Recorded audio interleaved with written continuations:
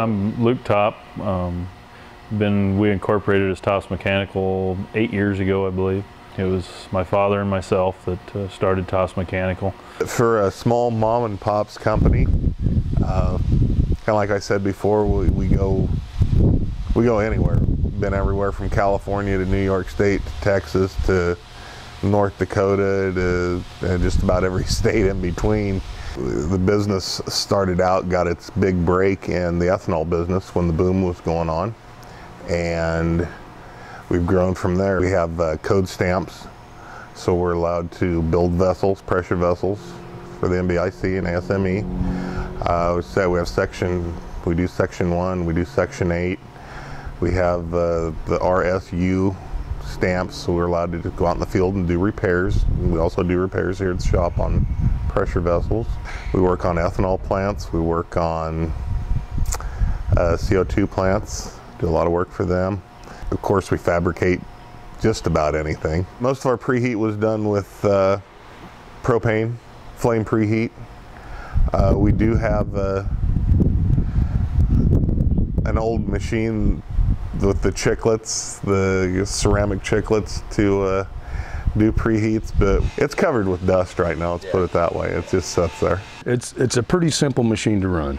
It's it's not that hard. The the time in getting uh, material up to temp is is quicker.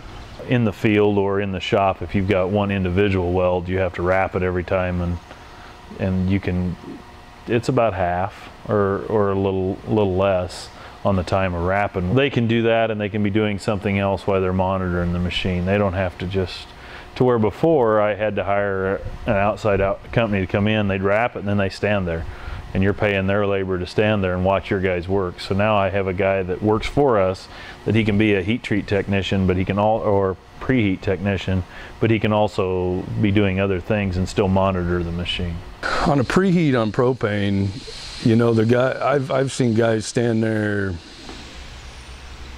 a half hour or better, you know, maybe 40 minutes, depending on the outside weather and all that, just to achieve, you know, especially in uh, your chrome pipe, you know, where you got to get it up to 400.